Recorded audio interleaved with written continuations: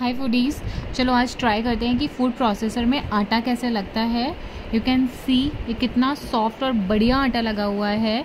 और ये बिल्कुल उसी कंसिस्टेंसी का आटा है जो हमारी मम्मी लोग यू नो बहुत देर तक मल मल के, बहुत अच्छे से आटा लगाते थे, खूब मेहनत कर करके। वो वाला आटा है आपको यहाँ पर फाइव मिनट्स में बिना किसी मेहनत के मिल जाएगा। और ये लगाना भी बहुत आसान है। सो लेट्स स्टार्ट इसके लिए सबसे पहले हमको करना क्या है कि जो फ़ूड प्रोसेसर है में है ना, उसमें हमें उसके करेक्ट पार्ट्स को लगाना है। और सबसे मेन इंपॉर्टेंट चीज़ होती है लॉकिंग उसको आपको हमेशा उसको लॉक करके रखना है कि वो हिले ना अपनी जगह से। क्योंकि आटामेटिक और ये फ़ूड प्रोसेसर में सबसे अच्छी चीज़ ये होती है कि अगर आप इसमें आटा लगा रहे हो ना, आपको मशीन पकड़ के रखने की ज़रूरत नहीं है, वो अपने आप उसमें आटा लगता रहता है।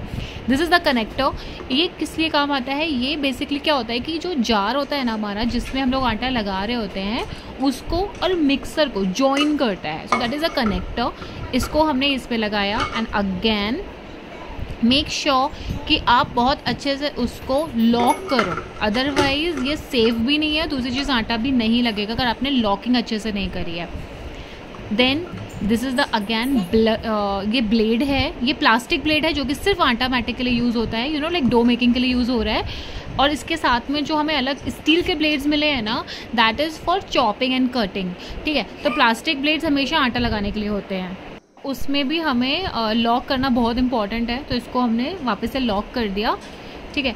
तो अब हम इसको लॉक करके वापस से पूरा सेट कर लिया हमने अपना डो मेकिंग करने के लिए। वापस अब इसमें हम आटा डालेंगे, जितना भी हमें नीड है, उस हिसाब से हम आटा डालेंगे। जिस लाइक आपको थ्री टू फोर लोगों के लिए लगाना है तो एक बार में आटा लग जाएगा। लेकिन अगर ज़्यादा लोगों के लिए लगाना है तो प्लीज़ बहुत सारा आटा एक साथ मत डालना अदरवाइज़ जार टूटने का डर रहता है। ठीक है। तो अब हम क्या करेंगे, इसमें हमने अपने अकॉर्डिंग आटा डाला, उसी में नमक डाला और थोड़ी सी डाली अजवाइन। ये जो अजवाइन है ना, ये क्योंकि मैं पराठे बना रही हूँ, इसलिए आप डालो। अगर यहीं पे आप पूड़ी का आटा लगा रहे होते हो तो इसी समय आप इसमें घी भी डाल सकते हो। तो वो अच्छे से यू नो लाइक अच्छे से ग्रीसी आटा लग जाता है, जो पूड़ी वाला एग्जैक्टली हमें चाहिए होता है। Again there is a lock तो आप वापस इसको लॉक करो। इट इज़ अ बेसिकली कि मतलब यू नो लाइक माना ऑटोमेटिक है। यू नो आजकल जो एआई भी चल रहा है, उसके बाद में human touch is very important that's why इसमें भी वही चीज़ है कि अगर ऑटोमेटिक चीज़ है आपको अपना माइंड यूज़ करना ही पड़ेगा विद यू नो लॉकिंग कि वो सेफ़ रहे। हम जब भी यूज़ करें, वो सेफ़ रहना चाहिए, बिल्कुल भी यू नो लाइक अनसेफ ना हो। अब इसमें हम पानी जो है, वो धीरे धीरे डालेंगे। एक साथ पानी बिल्कुल मत डालना, वो बहुत गीला हो जाएगा। तो बिल्कुल थोड़ा थोड़ा पानी डालना। एंड आप एक चीज़ ध्यान दे रहे होगा कि मैंने बिल्कुल भी मशीन को पकड़ा नहीं हुआ है। मैं दूसरे काम भी साथ साथ में कर रही हूँ। और वो अपना काम मशीन खुद कर रही है।